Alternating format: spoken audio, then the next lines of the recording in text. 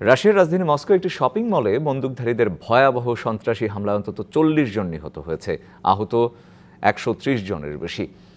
Shopping মলে এখনও হামলা চলছে অস্ত্রধারীদের। শপিং মলে আটকে পড়েছেন দুই শতাধিক মানুষ। রুশ সংবাদ মাধ্যম আরটি জানায়, মস্কোর ক্রোকাস সিটি হল শপিং মলে কনসার্ট চলাকালে চার বন্দুকধারী নির্বিচারে গুলি ও বিস্ফোরণ ঘটায়। আরটি আরও জানায় কমবেট পোশাক পরা দুই বন্দুকধারী কনসার্ট চলাকালে হ্যান্ড গ্রেনেড ছড়ে প্রথমে এ সময় পরপর দুটি বিস্ফোরণের শব্দ শোনা যায়। এক দুই তিন ঢাকায় জমি জিতে নিন একশো পার্সেন্ট ক্যাশব্যাক সহ বিশ কোটি টাকার পুরস্কার। বড় ধরনের বিস্ফোরণ সহ আগুন ধরে যায় শপিং মলটিতে। এ ঘটনায় ভবনটিতে কয়েকশো মানুষ আটকা পড়েছে বলে জানাচ্ছে দেশটির গণমাধ্যম।